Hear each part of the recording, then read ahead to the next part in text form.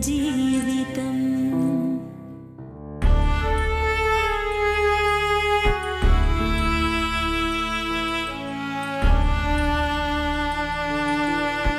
നമസ്കാരം. കഥയല്ലത് ജീവിതത്തിന്റെ മറ്റൊരു എപ്പിസോഡിലേക്ക് എല്ലാവർക്കും സ്വാഗതം. പ്രേക്ഷകർക്കിടയിൽ നിയമബോധവൽക്കരണത്തിന്റെ ഭാഗമായി അമൃത ടി വിയും കേരള സ്റ്റേറ്റ് ലീഗൽ സർവീസസ് അതോറിറ്റിയും ഒന്നിക്കുന്ന ഈ പരിപാടിയിൽ ഇന്ന് നമുക്ക് നിയമസഹായം നൽകുവാൻ ഇവിടെ എത്തിച്ചേർന്നിട്ടുള്ള KELSA panel members judicial member ബഹുമാന്യ judge Shri Sasidharan Nair advocate member Shrimati Bindu Sreekumar സാമൂഹ്യ പ്രവർത്തക ശ്രീമതി സ്മിത സതീഷ്. എല്ലാവർക്കും സ്വാഗതം. സ്നേഹിച്ച് വിവാഹം കഴിച്ച് ഒരുമിച്ച് ജീവിതവും തുടങ്ങി. മൂന്ന് മാസം കഴിഞ്ഞപ്പോൾ പ്രശ്നങ്ങളും തുടങ്ങി. അവ എന്തൊക്കെയാണെന്ന് അറിയാൻ വേണ്ടി ഈ വേദിയിലേക്ക് ഞാൻ ആദ്യം ക്ഷണിക്കുന്നത് സുജിത്തിനെയാണ്. സുജിത്ത്.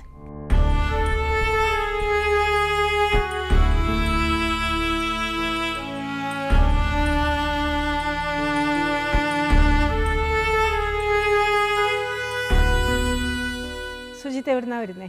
ഞാൻ വാമനപുരത്തുനിന്നാണ് കിളിമാനൂർ എത്തണതിന് മുമ്പാ? ആ വെഞ്ഞാറമൂട് കഴിഞ്ഞിട്ട് കിളിമാനൂർ. എത്തുന്നതിന് മുമ്പ്. കിളിമാനൂർ എത്തുന്നതിന് ഒരു ആറ് കിലോ ആറ് കിലോമീറ്റർ മുമ്പ്. കാരണം ബോർഡ് ഞാൻ കണ്ടിട്ടുണ്ട് വാമനപുരം എന്നുള്ളത്. അവിടെ വാമനന്റെ അമ്പലം വല്ലതും ഉണ്ടോ?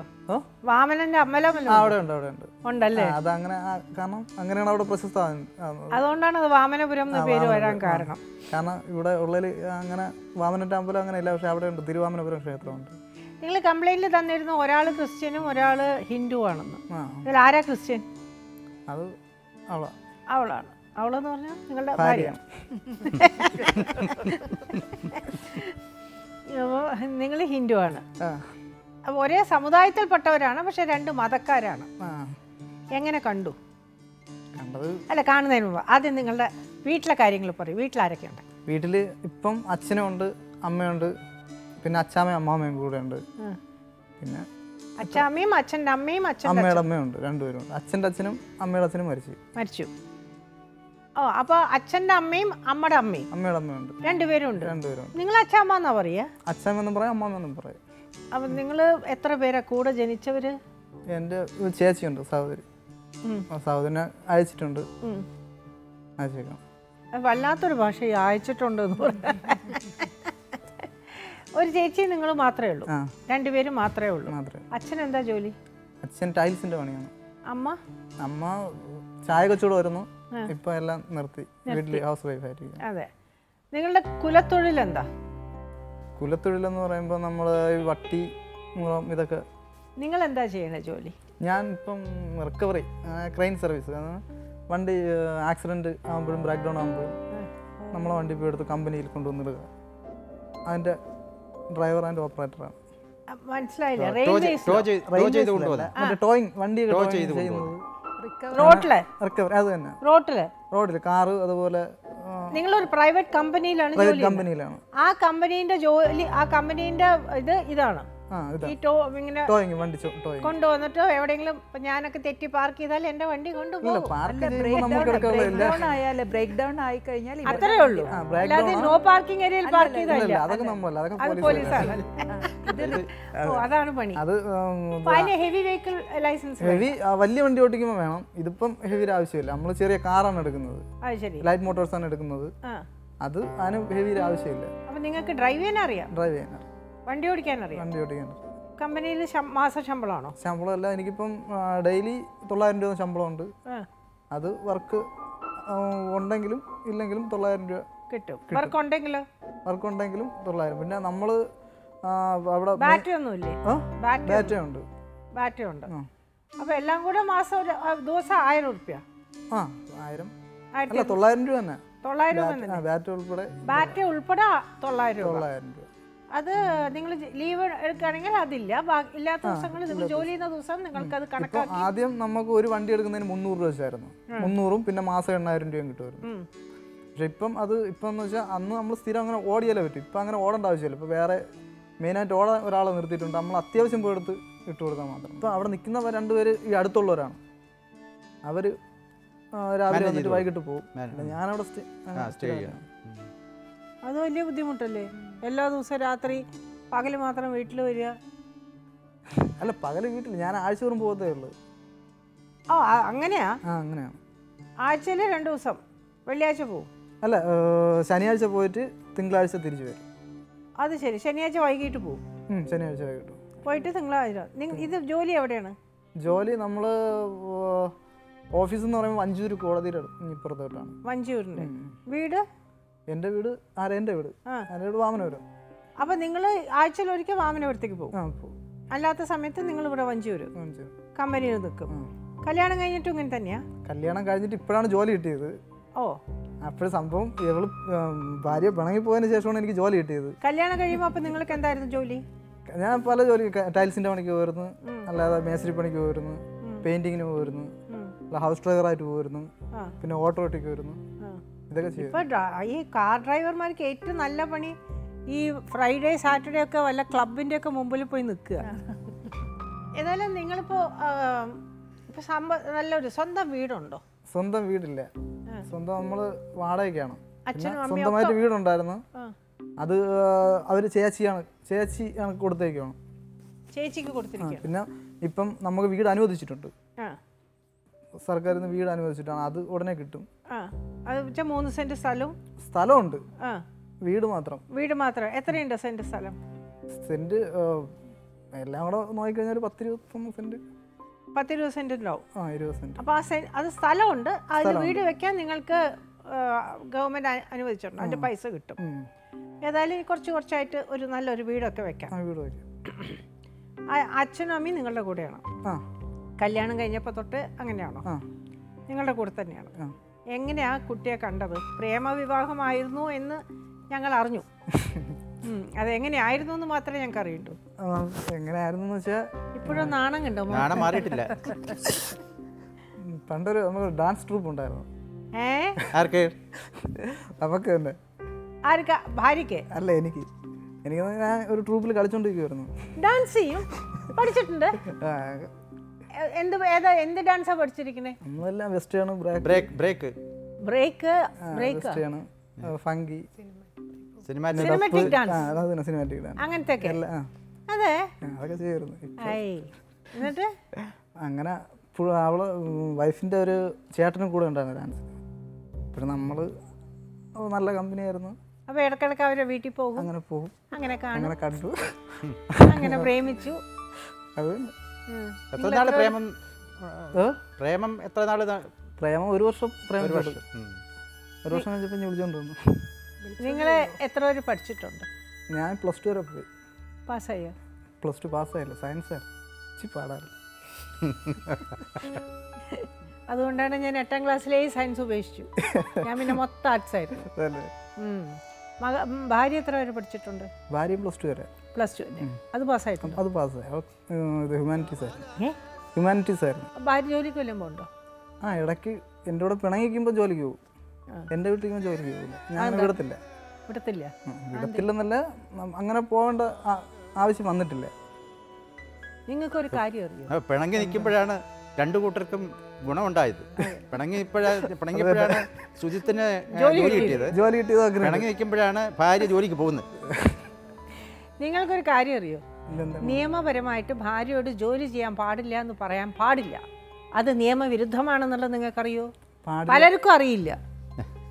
ജോലി ചെയ്യാൻ പാടില്ലെന്ന്. ആ നിങ്ങൾക്ക് നിങ്ങളുടെ ഭാര്യനെ അങ്ങനെ ജോലി അല്ല ഞാനങ്ങനെ പറഞ്ഞിട്ടില്ല. അല്ലല്ല പേടിക്കണ്ട. നിങ്ങൾ അറസ്റ്റ് ചെയ്യാനൊന്നും പോകുന്നില്ല. പക്ഷേ അങ്ങനെ അങ്ങനെ ഒരു നിയമം ഉണ്ടോ അറിയോ പലർക്കും അറിയാത്ത നിയമ. ഭർത്താവ് ജോലിക്ക് പോകണ്ടെന്ന് പറഞ്ഞുകൊണ്ട് ഞാൻ പോയില്ല. ഏതായാലും നിങ്ങൾ നല്ലോണം സമ്പാദിച്ചു കൊടുക്കുന്നതുകൊണ്ട് നിങ്ങൾക്ക് അത് ഭാര്യ ജോലിക്ക് പോയി സമ്പാദിക്കണം എന്നുള്ള ആവശ്യം ഇതുവരെ വന്നിട്ടില്ല. എനിക്ക് എന്റെ ആവശ്യം വന്നിട്ടില്ല. മക്കളുണ്ടോ? ഒരു മോളുണ്ട്. ഒരു മോളുണ്ട്. എത്ര വയസ്സായി? മോൾക്കിപ്പം ഈ മാസം പതിനേഴാം തീയതി ആകുമ്പം രണ്ട് വയസ്സ്. എന്റെ ഓർമ്മ കറക്റ്റ് ഓർമ്മ. സാധാരണ ആണുങ്ങൾക്ക് ഓർമ്മയില്ലാത്തൊരു സാധനമാണ് ഡേറ്റ്സ് ഈ മാസം പതിനേഴ് വന്നാൽ രണ്ട് വയസ്സ് കഴിഞ്ഞു രണ്ട് വയസ്സ്. അപ്പോൾ കല്യാണം കഴിഞ്ഞ് കുറച്ച് കഴിഞ്ഞിട്ട് താമസമായിട്ടാണ് താമസമായിട്ട് അതിനിടയ്ക്ക് രണ്ട് ആഘോഷമൊക്കെ ആയിട്ടുണ്ട്. ആ ശരി. പിന്നെ? പിന്നെ ഒരു അടിച്ചു പൊളിച്ചൊക്കെ ജീവിച്ചു. അടിച്ചു പൊളിച്ച്? അല്ല സ്നേഹിച്ച് കല്യാണം കഴിച്ചു. വീട്ടിൽ നിന്ന് ഇറക്കി കൊണ്ടുവരിക ചെയ്തേ? അല്ലല്ല നല്ല നിരക്കി കല്യാണം കഴിച്ചാണോ കൊണ്ടുവന്നേ? അല്ല. പിന്നെ? വീട്ടിൽ നിന്നല്ല ഇറക്കേണ്ടത്? അവൾ പഠിക്കാൻ പോയിട്ട് ഇറങ്ങി വരുന്നത് പഠിക്കാൻ നല്ല ഇറക്കി കൊണ്ടുവന്നേ? വീട്ടിൽ നിന്നല്ല. പഠിക്കാൻ പോയതെന്ന് അങ്ങ് വിളിച്ചോണ്ട് പോയത്. അതെന്താ അവരുടെ വീട്ടിൽ എതിർപ്പുണ്ടായിരുന്നോ? എതിർപ്പായിരുന്നു. നല്ല എതിർപ്പായിരുന്നു. നല്ല എതിർപ്പായിരുന്നു. നിങ്ങളുടെ വീട്ടിലുണ്ടായിരുന്നില്ല. ഒരു എതിർപ്പില്ലായിരുന്നു നമ്മളും ചോദിച്ച്. ആ. അപ്പോൾ അവർക്ക് തരാൻ ഇഷ്ടമില്ല. ഇഷ്ടമില്ല. ആദ്യമൊക്കെ സമ്മതിച്ച് തരാൻ കുഴപ്പമില്ലെന്ന് പറഞ്ഞു. പിന്നെ പിന്നെ ഇപ്പം അവർ സ്വഭാവം മാറി. ആ ശരി. ഏതായാലും നിങ്ങളുടെ കൂടെ പോന്നു. രജിസ്റ്റർ വിവാഹം കഴിച്ചോ? കഴിച്ചോ? രജിസ്റ്റർ വിവാഹം കഴിച്ചു? രജിസ്റ്റർ ചെയ്തായിരുന്നു. സർട്ടിഫിക്കറ്റ് ഉണ്ടോ? സർട്ടിഫിക്കറ്റ് ഉണ്ട്. ഉണ്ട്. എങ്ങനെയാണ് രജിസ്റ്റർ ചെയ്തത്? രജിസ്റ്റർ അവിടെ പഞ്ചായത്തിൽ കോമൺ മാരേജ് റൂൾസ് അനുസരിച്ചുള്ള ആ അല്ല അവിടെ ബ്ലോക്ക് കാരണം നിങ്ങൾ രണ്ട് മതക്കാരാ. സ്പെഷ്യൽ മാരേജ് ആക്ട് പ്രകാരം വേണം രജിസ്റ്റർ ചെയ്യാൻ. അത് ചെയ്തോ എന്നാണ് ചോദിക്കുന്നത് ചെയ്തിട്ടുണ്ട്. ചെയ്തിട്ടുണ്ട്. ആ രീതിയിലായിരിക്കില്ല ഏ? അതായത് ഈ സ്പെഷ്യൽ മാരേജ് ആക്ട് അനുസരിച്ചുള്ള ഒരു മാരേജ് നടന്നിട്ടുണ്ടാവില്ല. നടന്നിട്ടുണ്ടാവില്ല. അല്ല ഇപ്പം നടന്നിട്ടുണ്ടാവില്ല. പക്ഷേ വിവാഹം ഒക്കെ കൊടുത്തിട്ടുണ്ട് വിവാഹം അതിൽ ഒരു മാസം നോട്ടീസ് ക്രിസ്ത്യൻസ് എന്ന് പറഞ്ഞാൽ അവർ പള്ളിയിൽ പോകുന്നേ ഉള്ളൂ. അവർ ഹിന്ദു ആണ് ഇപ്പോഴും അല്ല എന്നാലും ഈ കൽ രജിസ്റ്റർ ചെയ്യണ സമയത്ത് നിങ്ങൾ ആദ്യം പോയി ഒപ്പിട്ട് അത് ഒരു മാസത്തെ നോട്ടീസ് കൊടുത്ത് രണ്ടാമത് പോയി ഒപ്പിട്ട് അങ്ങനെയാണോ നിങ്ങളുടെ ഇല്ല നമ്മൾ രജിസ്റ്റർ ചെയ്തെന്ന് വെച്ചാൽ കല്യാണം കഴിഞ്ഞ് കുറേ ദിവസം കഴിഞ്ഞിട്ടാണ് രജിസ്റ്റർ ചെയ്തത്. കല്യാണം അങ്ങനെ നടന്നു? അല്ല കല്യാണം നടന്നില്ല. നടന്നില്ല കല്യാണമായിട്ട് നടത്തിയില്ല. കല്യാണം വീട്ടിൽ വെച്ച് നമ്മൾ ഒരുമിച്ച് ജീവിച്ച് തുടങ്ങി വീട്ടിൽ വെച്ചൊരു താലി കെട്ടി. എന്നിട്ട് ഒരുമിച്ച് ജീവിച്ച് തുടങ്ങി. അത് കഴിഞ്ഞ് എത്ര ദിവസം കഴിഞ്ഞിട്ടാണ് രജിസ്റ്റർ വിവാഹം ചെയ്തത്? രജിസ്റ്റർ ചെയ്ത് രണ്ട് ദിവസം കഴിഞ്ഞിട്ടാണ് രജിസ്റ്റർ ചെയ്തത്. മാരേജ് സർട്ടിഫിക്കറ്റ് ഉണ്ടോ? ഉണ്ടുണ്ട്. ഉണ്ട് അപ്പോൾ രണ്ട് വർഷം കഴിഞ്ഞാണെങ്കിൽ മിക്കവാറും സ്പെഷ്യൽ മാരേജ് ആക്ട് അനുസരിച്ചായിരിക്കും രജിസ്റ്റർ ചെയ്തത്. മാരേജ് സർട്ടിഫിക്കറ്റ് എല്ലാം ഉണ്ട്. ഏതായാലും മാരേജ് സർട്ടിഫിക്കറ്റ് ഉണ്ട്. ഗവൺമെന്റ് സീലുള്ള മാരേജ് സർട്ടിഫിക്കറ്റ് ഉണ്ട്. അപ്പോൾ it's a legally vetted registered marriage അപ്പോൾ അതിൽ തർക്കമില്ല. പിന്നെ എന്തിനാ നിങ്ങൾ തമ്മിൽ പിണങ്ങിയത്? പിണങ്ങിയെന്ന് വെച്ചാൽ പ്രത്യേകിച്ച് വലിയ വിഷയമൊന്നുമില്ല. പിന്നെ? വീട്ടിൽ ഒരു വിഷയമല്ല. പിന്നെ പുള്ളിക്ക് ഇത്തിരി പിടിവാശിയും കാര്യങ്ങളുണ്ട്. പിടിവാശിയും കാര്യങ്ങളെന്ന് വെച്ചാൽ ഭയങ്കര സംശയം അതൊന്നാമത്തെ കേസ്. അതെന്താ സംശയം? സംശയം എന്ന് വെച്ചാൽ എന്തെന്ന് നിങ്ങൾ അറിഞ്ഞൂടാ സുന്ദരനായതുകൊണ്ടാണോ? അത് സംശയമുണ്ട്. അങ്ങനെ സംശയമാണ് സംശയിക്കാവുന്ന കാരണങ്ങൾ നമ്മൾ പ്രത്യേകിച്ച് പുള്ളിക്കാരോട് ചോദിച്ചാലും പ്രത്യേകിച്ച് കാണണമെന്ന് അവർക്ക് അറിയത്തില്ല. പക്ഷേ കുടുംബത്തിലുള്ള ഉള്ള ആൾക്കാരെ പോലും സംശയം. പിന്നെ ഒന്നാമത്തെ കേസ് അത് ഒന്നാമത്തെ കേസ് പിന്നെ രണ്ടാമത്തെ കേസ് എന്ന് വെച്ചാൽ വീട്ടിൽ നിൽക്കുന്ന ഇഷ്ടമല്ല? വീട്ടിൽ വീട്ടുകാരോട് സഹകരിച്ചു പോകുന്നത് ഇഷ്ടമല്ല? വീട്ടുകാരായിട്ട് സഹകരിച്ചു പോകുന്ന കാരണം എപ്പോഴും അവരെ കുറ്റം പറഞ്ഞുകൊണ്ടിരിക്കും. എന്തെങ്കിലും കുറ്റം ഉണ്ടായിക്കൊണ്ടിരിക്കും. അതൊക്കെയാണ് കേസ്. പിന്നെ എന്തെങ്കിലും എവിടെയെങ്കിലും അവർക്ക് പോകണം എന്ന് താല്പര്യമുള്ള സമയത്ത് പോകണം വിടൂലെന്ന് ഞാൻ എനിക്ക് വിടൂലെന്ന് അറിഞ്ഞു കഴിഞ്ഞാൽ എന്നോട് ചോദിക്കത്തില്ല. ഇങ്ങനെ ഒന്ന് രണ്ട് ഫോൺ സ്വിച്ച് ഓഫ് ചെയ്യും സ്വിച്ച് ഒന്ന് സ്വിച്ച് ഓഫ് ചെയ്യും അല്ലെങ്കിൽ എടുക്കത്തില്ല. അപ്പോഴും നമ്മൾ ചോദിക്കും. തന്നെ ഇഷ്ടപ്രകാരം പോകും. ആ തന്നെ ഇഷ്ടപ്രകാരം പോകും. പിന്നെ നമ്മൾ ചോദിക്കാൻ ചെല്ലുമ്പം ആവശ്യമില്ല വീട്ടുകാരെ നിങ്ങൾ സഹോദരനെ കുറിച്ച് പറയും. അതുപോലെ തന്നെ വീട്ടുകാരെ കുറിച്ച് അങ്ങ് പരാതി എപ്പോഴും പറയാം അപ്പോഴാണ് പിന്നെ നമുക്കത് കേൾക്കുമ്പോൾ ശരിയാകത്തില്ല. വരുമ്പോൾ സംസാരമാകും. സംസാരമാകുമ്പം ചിലപ്പം നല്ല വിഷയമാവും വിഷയമാകുമ്പോൾ ഉടനെ പക്ഷേ അപ്പോൾ അങ്ങനെയൊന്നുമില്ല. പിന്നെ? സംസാരം. ചെറിയ തോതിൽ. സംസാരം മാത്രമേ തോതിലൊക്കെ. ആ. ഇങ്ങനെയാണോ? ഇങ്ങനെയാണോ? ഇങ്ങനെയായിരിക്കും. ഇങ്ങോട്ട് കിട്ടുമോ ഇങ്ങോട്ട് കിട്ടുമോ വിധത്തിലാ. ഇങ്ങോട്ട് കിട്ടാൻ തരാനോ നോക്കിയിട്ടുണ്ട് നമ്മൾ അത് അപ്പോഴേ തടുത്തൊക്കെ നിർത്തിയിട്ടുണ്ട്. പിന്നെ ഇതൊരു വിഷയം വരും. പുള്ളിയുടെ വീട്ടുകാരെ വിളിച്ച് പറയും. അച്ഛനെന്ന് പറയുമ്പം ഇവർക്കൊരു പ്രശ്നം വന്നു കഴിഞ്ഞാൽ പലതവണ ഇഷ്- ഇഷ്ടം പോലെ തവണ ഇവിടെ പിണങ്ങി പോയിട്ടുണ്ട്. ഇവർ എന്താണ് കാര്യമെന്ന് ഇവർക്കൊന്നും അറിയണ്ട.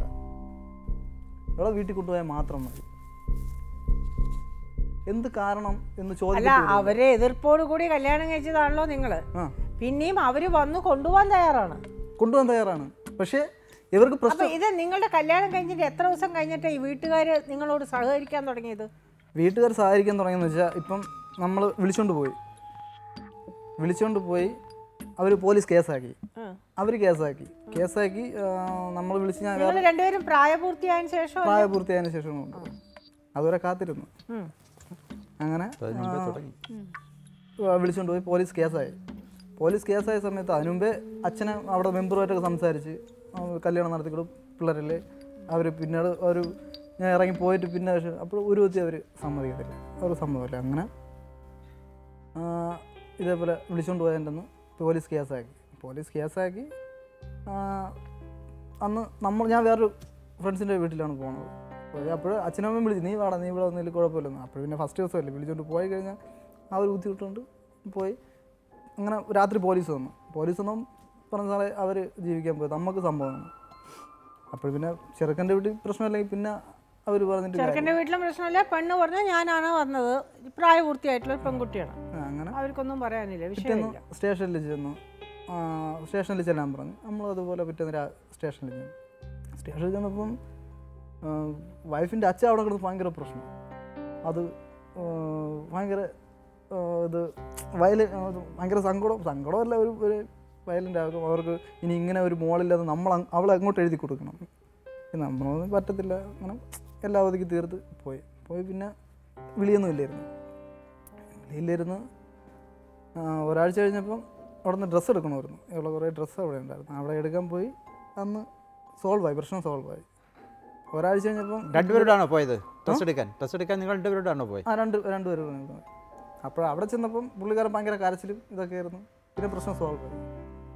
പിന്നെ സോൾവ് ആയപ്പോൾ ഞാൻ വിചാരിച്ചു ആ എല്ലാം ക്ലിയറായി നല്ലതുപോലെ ജീവിക്കാം എന്ന് വിചാരിച്ചാണ് നിൽക്കുന്നത് പക്ഷേ ഒരു മൂന്ന് മാസം കഴിഞ്ഞപ്പം അപ്പോൾ മൂന്ന് മാസം കഴിഞ്ഞിട്ട് നമ്മളൊരു വീട് വാടകയ്ക്ക് എടുത്താണ് താമസിക്കുന്നത്. അപ്പോഴേ നിങ്ങളുടെ അച്ഛനും അമ്മയുടെ കൂടെയല്ല? ആ അച്ഛനും അമ്മയും എല്ലാവരും വാടകയ്ക്ക്. വാടകയ്ക്ക്. വാടകയ്ക്ക് എന്ന് വെച്ചാൽ നമ്മളെ ഓണറെ വീടും നമ്മളെ വീടും അടുത്തടുത്ത. അടുത്തടുത്താണ് അങ്ങനെ. അവിടെ ഇങ്ങനെ സംശയങ്ങളും കാര്യങ്ങളൊക്കെ ആയി അവിടെ വെച്ച് പ്രശ്നം തുടങ്ങുകയാണ് പ്രശ്നം തുടങ്ങുമ്പോഴൊക്കെ നമ്മൾ ഓരോ ഇത് പ്രശ്നം ഉണ്ടാക്കും. നല്ല പ്രശ്നം ഉണ്ടാകും വയലന്റ് ആകും നല്ല വയലന്റ് ആകും വയലന്റ് ആവും നമ്മൾ കാരണം നമ്മളും കൂടെ വയലന്റ് ആയി കഴിഞ്ഞാൽ പ്രശ്നം ഭയങ്കര രൂക്ഷമാണ് അങ്ങനെ ക്ഷമിക്കും തോറും നമ്മൾ ക്ഷമിക്കും തോറും വയലന്റ് ആയിക്കൊണ്ടിരിക്കും. അപ്പോഴും നേരെ അവൾ അച്ഛനെ വിളിക്കും. അച്ഛനെ വിളിക്കുമ്പോൾ പുള്ളി വന്ന് കാര്യം എന്താണെന്ന് പോലും അറിയില്ല അറിയണ്ട. വിളിച്ചുകൊണ്ട് പോകും. വിളിച്ചുകൊണ്ട് പോയി കഴിഞ്ഞാൽ പിന്നെ എന്റെ അടുത്തോട്ട് വരുന്ന അവർക്ക് ഇഷ്ടമല്ല. പിന്നെ ഇവൾ കിടന്ന് വിളിയാണ്. വിളി ഞാൻ വരട്ടെ ഞാൻ പറഞ്ഞു നീ വരണ്ടെന്ന് പറയും. പിന്നെ പ്രശ്നം സോൾവ് ആയി വരും. ഇങ്ങനെ എത്ര പ്രാവശ്യം ഉണ്ടായിട്ടുണ്ടാവും? ഒരു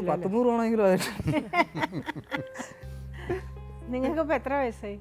എനിക്കിപ്പം ഇരുപത്തി ഒമ്പത് വയസ്സായി. അപ്പം നിങ്ങൾ ഇരുപത്തി ഇരുപത്തി ഒമ്പത് മൈനസ് ആറ്. ആറ് കൊല്ലേ ഇല്ലേ കല്യാണം കഴിഞ്ഞിട്ട്? ഇരുപത്തി മൂന്നാമത്തെ വയസ്സിൽ അതിൽ കല്യാണം കഴിച്ചു. ആ കുട്ടിക്ക്? പത്തൊമ്പത് വയസ്സാണ്. കുട്ടിക്കളി മാറാത്ത പ്രായത്തിൽ കല്യാണം കഴിച്ച് ഇങ്ങനെ തന്നെ. ആ. നിങ്ങളുടെ വീട്ടിലെ വരുമാനം ഉള്ള വേറെ നിങ്ങളുടെ അച്ഛനോ വേറെ ആർക്കെങ്കിലും വരുമാനം ഉള്ളവരുണ്ടോ ആ നമ്മൾ പിന്നെ നമ്മൾ ചെയ്യുന്ന അങ്ങ് ചെയ്യുന്നു. വാടക വീടൊക്കെയാണ്. അല്ല അച്ഛൻ ആരോഗ്യമില്ല. അച്ഛൻ ഇപ്പോഴും ടൈൽ പണിക്ക് പോകുന്നുണ്ട്. പണിക്ക് പോകുന്നുണ്ട്. പിന്നെ നമ്മൾ ചെയ്യുന്ന നമ്മൾ ചെയ്തല്ലേ പറ്റുള്ളൂ. അവർക്ക് വാടക നോക്കണം. ബാക്കിയുള്ള കാര്യങ്ങളെല്ലാം. രണ്ടുപേരും കൂടിയാണ് വീട്ടിലെ കാര്യങ്ങളൊക്കെ ആ നോക്കുന്നത്. നോക്കുന്നത് അച്ഛനും നിങ്ങളും. അമ്മയായിട്ട് വഴക്കുണ്ടാവാറുണ്ടോ? ആര്? നിങ്ങളുടെ ഭാര്യയ്ക്ക്? ആ അത് ഇതേപോലെ ഒരു പ്രശ്നം അല്ലെങ്കിൽ ഭയങ്കര സ്നേഹമാണ്. പക്ഷേ എന്തെങ്കിലും ആയി കഴിഞ്ഞാൽ പിന്നെ എന്തൊക്കെയാണ് പറയുന്നതെന്ന് അവർക്ക് തന്നെ അറിയത്തില്ല. വെറുതെ എന്തെങ്കിലുമൊക്കെ പറഞ്ഞു പറഞ്ഞുകൊണ്ടിരിക്കും. പിന്നെ ഇതുണ്ടാക്കി ഇതിനിടയ്ക്ക് ഉള്ള ദേഷ്യമുണ്ട്. ദേഷ്യം അത് സ്വാഭാവികമായിട്ടുള്ളതാണ് സ്വാഭാവികമായിട്ട് പെൺ സ്ത്രീകൾക്ക് വരുന്നതാണ്. അത് പിണങ്ങി പോകും. ഇതെല്ലാം സ്വാഭാവികമായിട്ട് പെണ്ണുങ്ങൾ ദേഷ്യം വരുന്നതാണ് അതെന്ത് പറച്ചലാ പറയുന്നത്? ദേഷ്യം സ്വാഭാവികമായിട്ടുള്ളതായിരുന്നു. സ്ത്രീകൾക്ക് സ്വാഭാവികമായിട്ട് വരുന്നതാണ് അതല്ല. മനുഷ്യർക്ക് സ്വാഭാവിക ദേഷ്യം വരും. മനുഷ്യർ. നിങ്ങൾ സ്ത്രീ എന്ന് പറഞ്ഞുകൊണ്ടാണ് അങ്ങനെ വരും. പക്ഷെ ഇങ്ങനെ ഒരു അങ്ങനെ ആകുമ്പോൾ കൂടുതലും ഒരു നേരെ ചൊവ്വ നേരെ കൊണ്ടുപോകേണ്ടത് അവരെ. കാരണം ഉത്തരവാദിത്തമാണ് കാരണം അല്ല ദേഷ്യം വന്നാൽ നിങ്ങൾ പറഞ്ഞു വയലന്റ് ആവുമെന്ന്. എന്തായി? വയലൻസ് എന്ന് പറയുമ്പോൾ എങ്ങനെയാണ് നിങ്ങൾ പറയണത്? വായ തോന്നിയത് മുഴുവൻ വിളിച്ചു പറയുക സാധനങ്ങൾ എടുത്തെറിയുക നിങ്ങളെ ഉപദ്രവിക്കാൻ വരിക. അങ്ങനെയൊന്നുമില്ല. എങ്കിലും ഭയങ്കര സംസാരമാണ്. എന്തൊക്കെയാണ് എന്തെങ്കിലുമൊക്കെ അങ്ങ് പറയും വീട്ടുകാരെ കുറിച്ച് സഹോദരനെ കുറിച്ച്. കാരണം ചിലപ്പോൾ നമ്മൾ തമ്മിലായിരിക്കും പ്രശ്നം. നമ്മൾ തമ്മിലായിരിക്കും ചെറിയ ചെറിയ പ്രശ്നമാകുന്നത് നിങ്ങളുടെ അപ്പോൾ നിങ്ങളോടുള്ള ഈ സംശയരോഗവും അപ്പോൾ പുറത്തു വരും. അപ്പോഴാണ് സംശയരോഗം പുറത്തു വരുന്നില്ല വരുന്നത് സഹോദരനെ കുറിച്ചാണ് പിന്നെ പറയുന്നത്. ഇതിന്റെ പേരിലാണ് ഇപ്പൊ പിണങ്ങി പോയിരിക്കുന്നത്. എപ്പോഴും? ഇപ്പൊ ഇങ്ങനെ ഇങ്ങനെ തുടർച്ചയുള്ള തുടർച്ച എന്ന് വെച്ചാൽ ഇത് നമ്മൾ ഈ തുടക്കം എന്ന് പറഞ്ഞാൽ വെറും സിമ്പിൾ കാര്യമാണ്. സിമ്പിൾ എന്ന് പറഞ്ഞാൽ ഇതിനിടയ്ക്ക് ഇതിനിടയ്ക്കും ഇഷ്ടംപോലെ പ്രശ്നം ഉണ്ടായിട്ടുണ്ട്. പ്രശ്നം എന്ന് വെച്ചാൽ ഞാൻ ഒരു ഇടയ്ക്ക് അവരെ ഇവിടുന്ന് ടൂർ പോയി. ടൂർ പോയി. അവർ മാത്രമായിട്ട്? ആ അല്ല ഞാനപ്പോഴും ഇവിടെ നിൽക്കുവാണ് എനിക്ക് അവളമ്മ അച്ഛൻ സഹോദരി അവരെല്ലാം ടൂർ അപ്പോൾ ഞാൻ ഞാൻ ഇവിടെ നിൽക്കണം. അപ്പോൾ ഞാൻ വിചാരിച്ച് അതിനു മുമ്പേ കുറച്ച് ദിവസം നമ്മൾ പിണക്കത്തിലായിരുന്നു. പിണക്കത്തിലായിരുന്ന സമയത്താണ് ഞാൻ ജോലി ഇവിടെ ജോലിക്ക് എനിക്ക് ജോലി കിട്ടുന്നത്. ജോലി കിട്ടിയ സമയത്ത് അറിഞ്ഞില്ല പുള്ളി. ഞാൻ ഇവിടെ നിൽക്കി അവിടെ നിന്ന് ഇഞ്ഞി വന്നെന്ന് അറിഞ്ഞില്ല. അങ്ങനെ അതുവരെ എന്റെ പിണങ്ങിയെന്ന് എങ്ങനെ അറിഞ്ഞ്? ഇതേപോലെ എനിക്ക് ഇവിടെ തിരുവനന്തപുരം ജോലി കിട്ടിയെന്ന് പറഞ്ഞു അന്ന് എന്നെ വിളിച്ച്.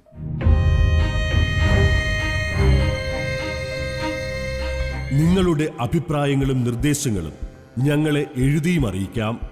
വിലാസം പ്രൊഡ്യൂസർ കഥയില്ലത് ജീവിതം അമൃത ടി വി ഗാന്ധിനഗർ വഴുതയ്ക്കാട് തിരുവനന്തപുരം പതിനാല്. ഇമെയിൽ ജീവിതം at Amrita T V dot com.